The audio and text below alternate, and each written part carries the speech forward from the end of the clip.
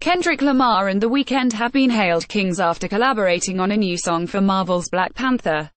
The US artist dropped Pray For Me on Thursday night ahead of the release of the upcoming superhero film. They previously worked together on the Starboy track, Sidewalks. Fans praised the collaboration with many hailing it an anthem while others claimed it was a wonderful time to be alive. One fan tweeted, Kendrick Lamar feat The Weeknd, pray for me. Best S asterisk asterisk asterisk I have heard in 2018. Able is fire emojis. Another posted, after hearing Kendrick Lamar The Weeknd pray for my think Drake's Scary Hours TDES Black Panther soundtrack will be my 2018 year-long anthems. Lamar was chosen to produce the entire soundtrack by director Ryan Coogler, who hailed the artist incredible.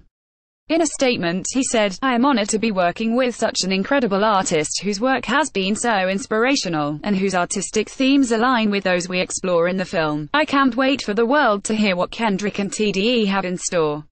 Other names involved include Schoolboy Q, 2 Chainz, Travis Scott and Brits Critics' Choice winner Jorja Smith.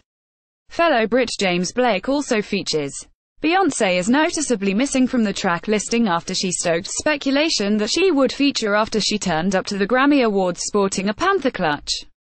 Comic book legend Stan Lee, creator of the Black Panther superhero, poses with Chadwick Boseman Angela Bassett joined by her husband Courtney B. Vance, Chadwick Boseman and Lupita Nyong'o Lupita Nyong'o and Andy Serkis Andy Serkis and Forest Whitaker Jessica Oyelowo and David Oyelowo Sterling K. Brown and his wife Ryan Michelle Bathe Hayley Roberts and actor David Hasselhoff Mellody Hobson and George Lucas Black Panther is slated for UK cinema release on February 16. More about Black Panther, Kendrick Lamar, The Weeknd